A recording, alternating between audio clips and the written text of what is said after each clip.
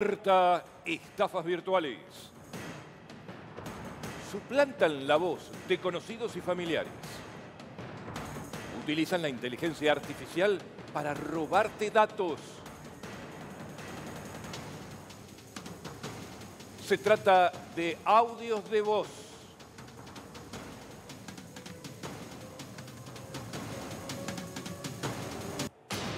Y atención con esta nueva modalidad de estafa. Todos los detalles te los trae Gastón Marote. Gastón. Alerta mundial directamente, Argentina y mundial. ¿Cómo arranca todo? La primera estafa que se conoció de esta manera ocurrió en Singapur. ¿Cómo fue? Un empleado lo invitan a participar de una videoconferencia con jerarcas de, digamos, de una empresa multinacional que estaban en otros países, obviamente, una multinacional.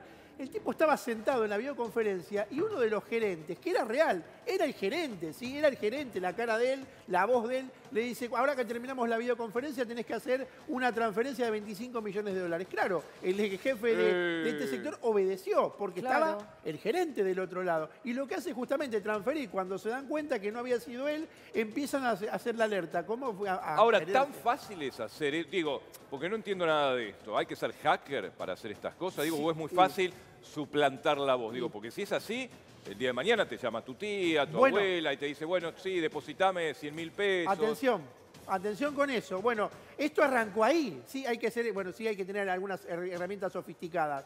¿Qué fue pasando después? Bueno, a ver, llamaban a una persona, ¿sí? esta persona dice, hola, hola, hable cuando le captaron la voz a esa persona, lo que hicieron después fue usar la inteligencia artificial con ese tono de voz. Y ya, tienen, ya pueden escribir cualquier mensaje. Arman cualquier mensaje de audio con, un simple hola. Exactamente, exactamente. Entonces después lo que hicieron fue llamar a una determinada persona, se hicieron pasar por, hola, sí, ¿qué tal? Habla fulanito, soy yo, eh, Juan Pérez. Dice, necesito que me, transfieras tanta plata a mi cuenta.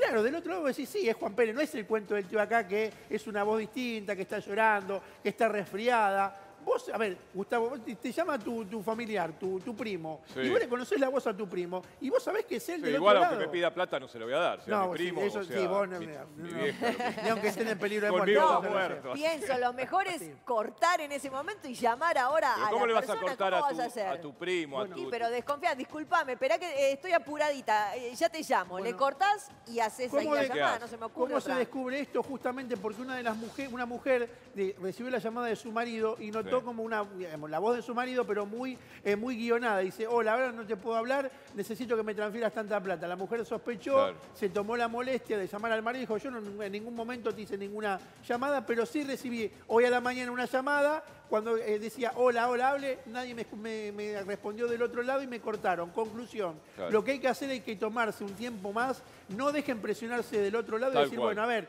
te llamó tu familiar, automáticamente cortás, llamás a tu familiar y decís, che, vos me pediste una transferencia y hasta que no te dice tu familiar, sí, fui yo, no la hagas. Alerta mundial con esto. Usa la inteligencia artificial para suplantar tu voz y de ahí lograr eh, transferencias millonarias.